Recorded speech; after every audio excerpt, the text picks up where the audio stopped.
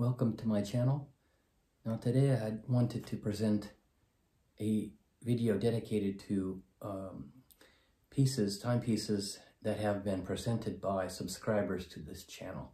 And I have received many requests for information about pieces that uh, uh, viewers have in their own uh, collections.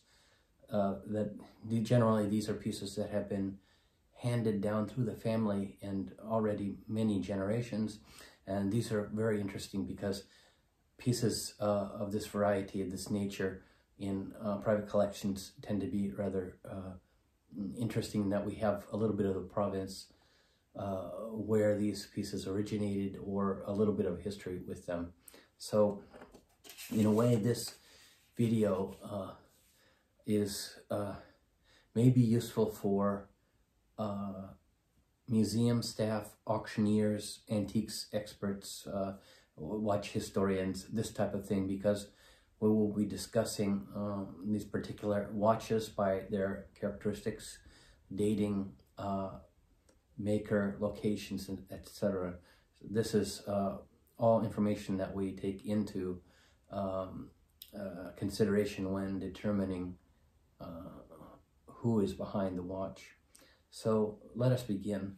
Uh, now I did want to address uh, one piece which uh, this was submitted by um, Tim who uh, did reach out and he has a Louis Montandon uh, gold, 18 karat gold uh, pocket watch.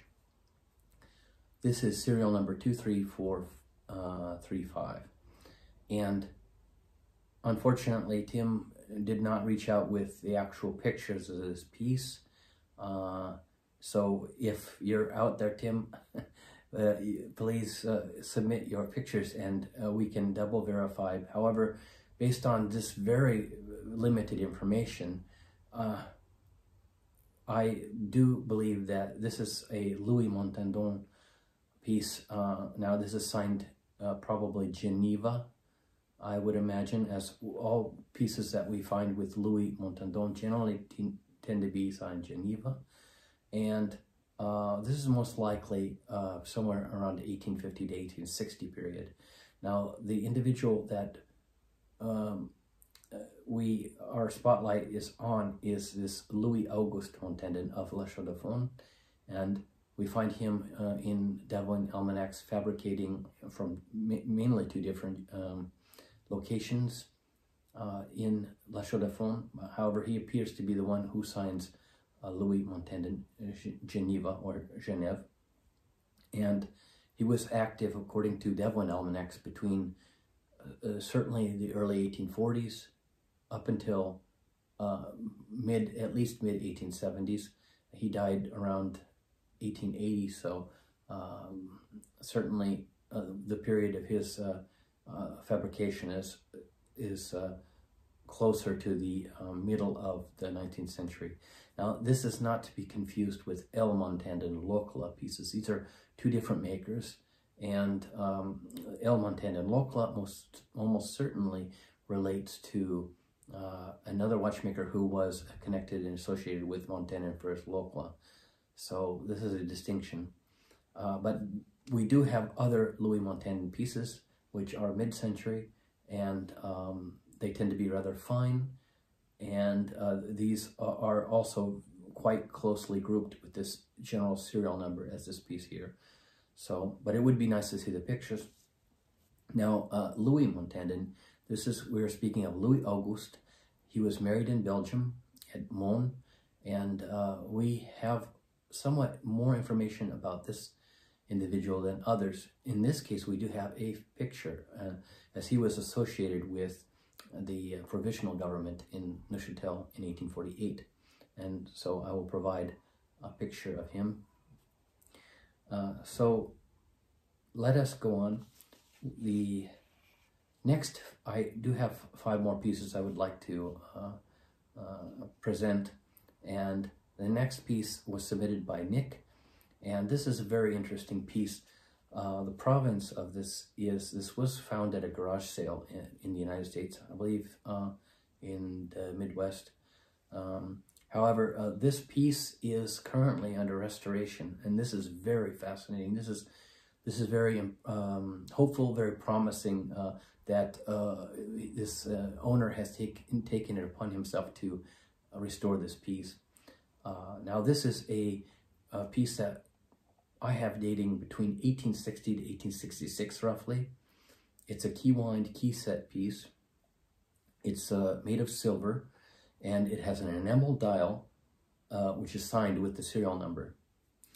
And uh, the serial number of this piece we find on the movement as well. This is number 14599. And the movement itself is also signed very elaborately J. Montandon.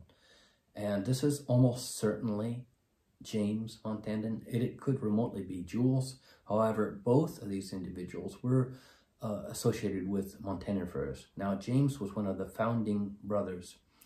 Uh, and we find him he had spent time in Paris, then returned to Locle. We find him in Saint-Imier and later at Neuchâtel City. However, of, of, this period, and it's interesting that this watch does not have a location. Uh, the, the, location is not indicated. Uh, but this does very, very much look and smell like a James Montandon watch. Now, his son would later become a very big banker uh, in Neuchâtel and quite wealthy. He was His name was also James. But uh, uh, we do have this piece in technical characteristics. We find this with Lépine style movement, and we do see a fine silver stamp. And this is, uh, these stamps, uh, the Neuchâtel quality stamp for silver here, uh, we find this up until 1866. Therefore, we are able, we do have this window dating that this is approximately 1860 to 1866 after this time, this would no longer be applied, this uh, chevron. Uh, so very, very intriguing piece, and I hope its restoration continues. Uh, it must be said that these are rather um, rarefied pieces, that these uh, watches signed J. Montandon are extremely rare. Uh, we don't have many instances or, or documentations of these pieces. So it's very uh, intriguing piece. Now, let us move on to um, our next submission. And this uh, is a watch uh, submitted by Andrew. Uh, and the province of this piece is, it was originally located, it originated in Mexico. Later it went to Spain, I believe Barcelona, but eventually it is with the owner in the United States on the eastern coast, I believe. Uh, this piece is uh, dating from circa 1880 to 1890. It's a stem wind piece, uh, and its material is silver. So we have a serial number on this piece of 47535, and it is signed uh, Montandon Genève. Uh, now this is likely, this is very likely connected with uh, the Montandon franchise. Um, we do see this serial number in the um, mid early mid 1880s associated with other Montandon Frères pieces and uh, it's not exactly clear uh, we are um, uh, it is incumbent upon us to make our best determination and um, approximation of who is behind this now it very possibly could also be, this needs to be stated, that this also could be remotely a U Montandon Croix piece. Now, U Montandon, this is Ulysse, the, the house of uh, Montandon. Uh, this was uh, located in Croix. They did uh, fabricate with various partners and uh, often, especially with uh, Samuel Jacquard, and th these pieces were signed Jacquard de Montandon, Genève or Geneva. So mm, clearly, this would this would be uh, a possibility. However, um, it's probably more likely that uh, he, this was a piece by Montandon Frères. As we do know that they had three uh, fabrication locations, Besançon. Uh, this was approximately 1857 to um, 1888. Uh, they had Locle throughout the entire, uh, uh, well, from the beginning um, uh, in the early 1820s all the way up until 1887, 1888, Locle. And then uh, Geneva was also started at around the same time, 1857, 1858, as uh, Besançon, and continued towards the end as Locle would liquidate the, this chapter and they would no longer uh, fabricate from Montandon Frères uh, brand. And these were watches that were being sold under a representative uh, in the Paris uh, office or uh, um, the location, their sales locations was on uh, the Rue Jean-Jacques Rousseau. so we have these possibilities, and this would also remotely be a piece that uh, Ulysse Montandon and Robert of Geneva could have fabricated. It's we do find him generally signing U Montandon and Robert, uh, but he did sign Geneva. This and this remains a possibility.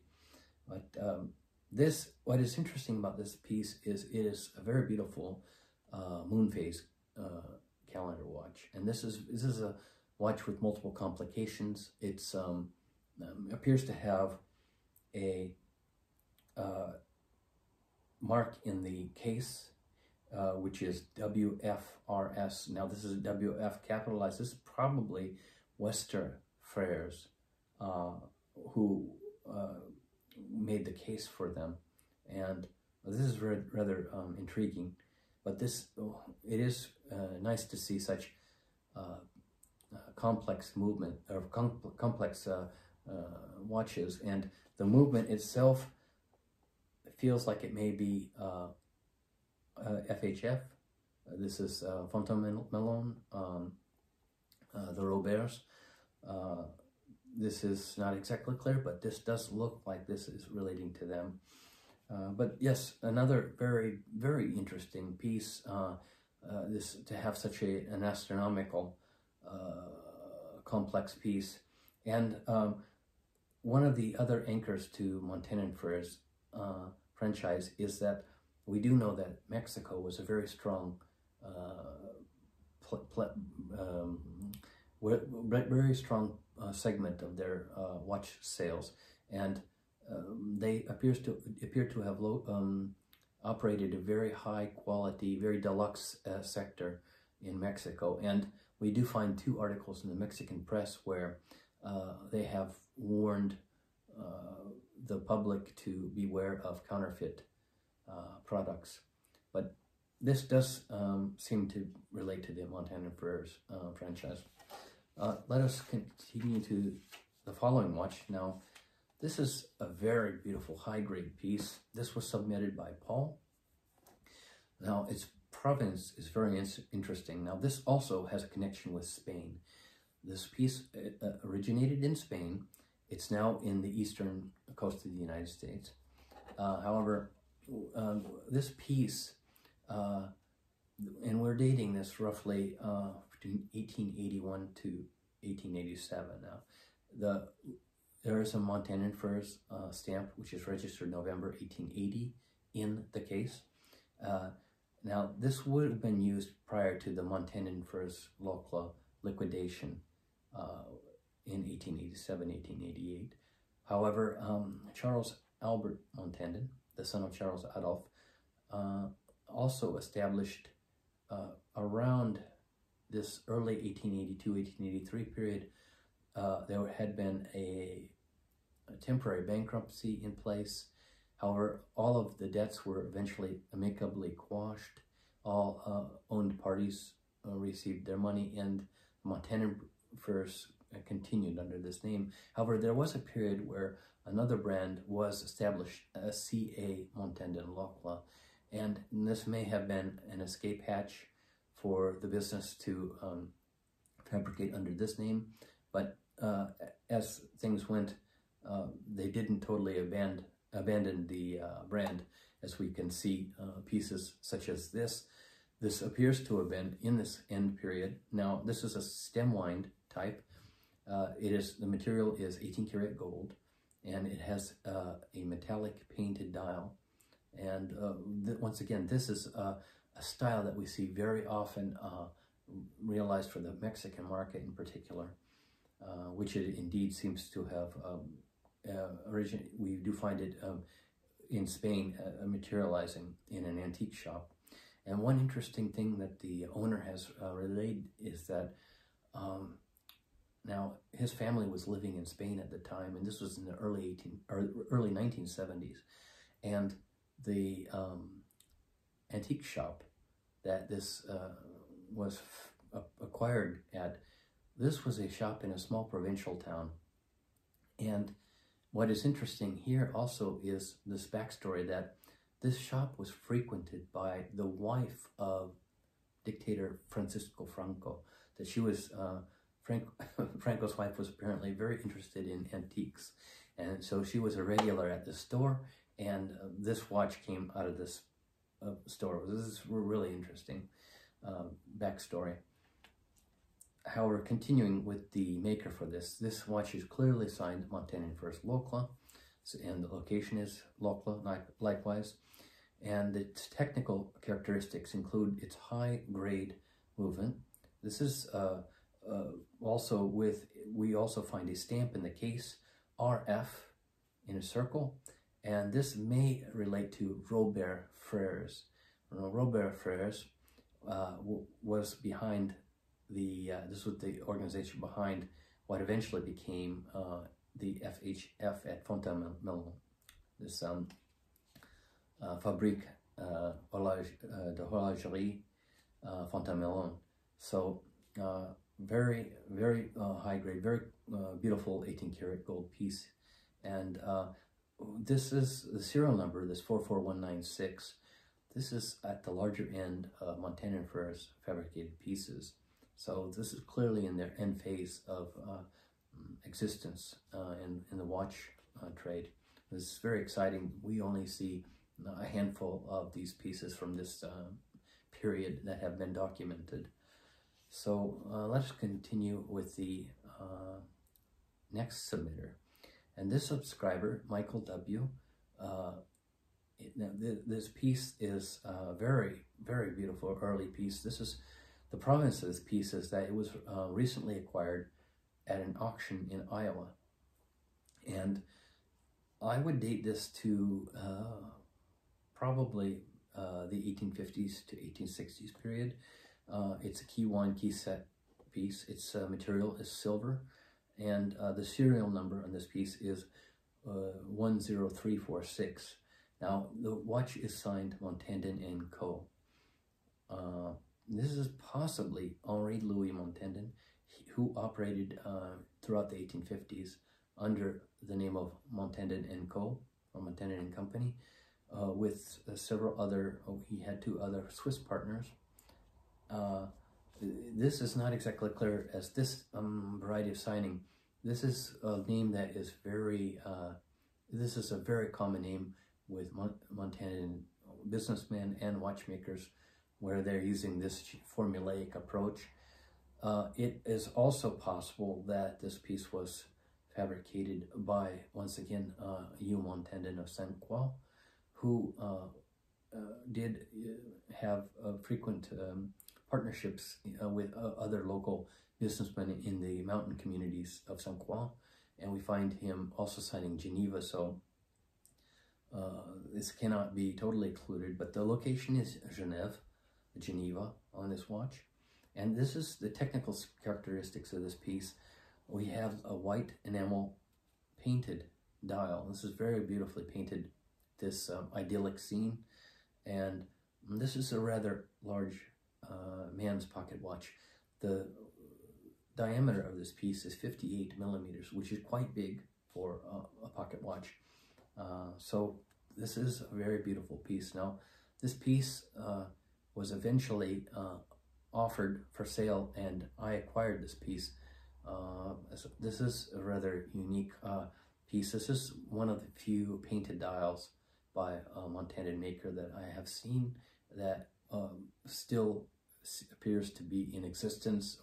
Many of these obviously are in uh, private collections and uh, these very seldomly appear at auction and when they do, then they're generally snapped up immediately. That these are these are pieces that are highly sought, uh, sought after. So, but this would have been a hand uh, painted dial that uh, there, the person that made this uh, dial painting, this would have been um, probably a lady uh, painter, uh, so-called um, uh, cadran, and uh, this type of work was generally reserved for women with very high dexterous artistic um, abilities.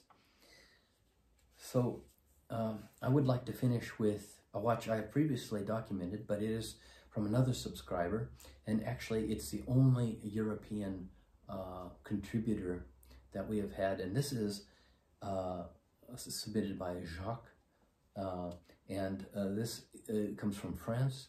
Uh, the provenance of this piece is very fascinating. I have documented this previously in other videos, but um, this was specifically made for a competition submitted by a mathematician during the French Revolutionary period. This was a Citoyen Romme, Gilbert Romme, and this uh, watch, now this was made for this competition 1794 uh, for uh, watches uh, in French decimal time, or also called revolutionary time. So this was time based on the number 10. And this watch is unique in that it has the old 12 base time, but also a, the small subdial uh, with the golden needle uh, in revolutionary time. And uh, this is very, very interesting. Now, this watch was, for some reason or another, was not accepted uh, by the competition according to some of the rules. It was returned to its makers. And uh, part of the uh, promise of this is that the makers presented it to the mayor of Clermont-Ferrand.